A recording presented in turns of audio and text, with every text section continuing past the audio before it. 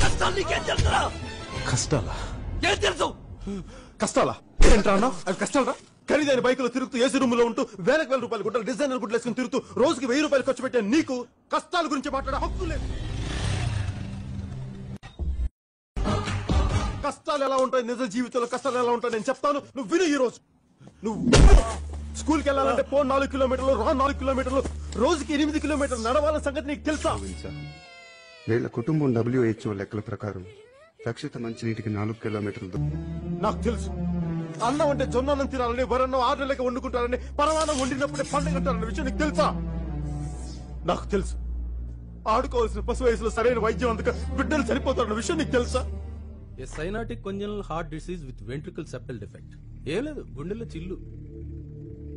హైదరాబాద్ తీసుకెళ్ళాలి కొన్ని టెస్ట్లు అవి చేయించాలి. బాగా అవుతుంది మరి. అబ్బే ఐదు లక్షలు అవసరం లేదు. లక్ష అయితే సరిపోతుంది. చాలా ఎక్కువ చురుగ్గా టైం ఉండేవాడు. లేదు అది ప్రాబ్లం అందుకే డాక్టర్ చెప్పిన దానికన్నా పది రోజుల ముందే చనిపోయాడు.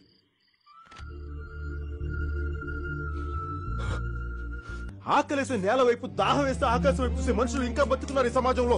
నువ్వు బతుకున్న ఈ సమాజం ఉన్నారని ఇంకా తెలుసా నీకు? తండ్రి చనిపోయిన ఆరు గంటలకి తండ్రి చనిపోయిన ఆరు గంటల తల్లి చనిపోతే ఆ బాధ ఎలా ఉంటుంది ఎప్పుడైనా అనుభవించావా? ఆ ముందు తనే తాగాడు. అయ్యా. నాయనా. నాయనా. నువ్వేంట్రా ఇంకెక్కడే ఉన్నావు? అత్త ఎక్కడా? అత్త? అత్త? మళ్ళీ మనం శ్మశానం పోవాలరా.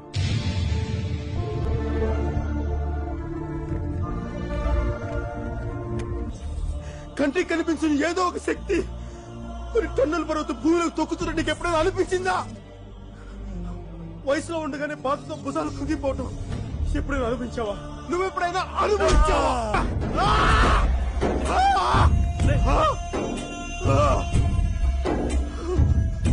మనకి సమాజంలో బతకడానికి మన దగ్గర ఉన్న పేరు మన దగ్గర ఉన్న అధికారం మన శక్తి ఏది సరిపోదు. ఈ జనం మధ్య బతకలే దూరంగా పారిపోవాలి. ఎప్పుడైనా అనిపించిందా? ఈ రాయి తెలుసా? ఇది సార్ సరిహద్దు రాయిరా. ఈ సారింట్లో ఎంతమంది ఉంటారు? నిన్నే చెప్పు నీ సారింట్లో ఎంతమంది ఉంటారో?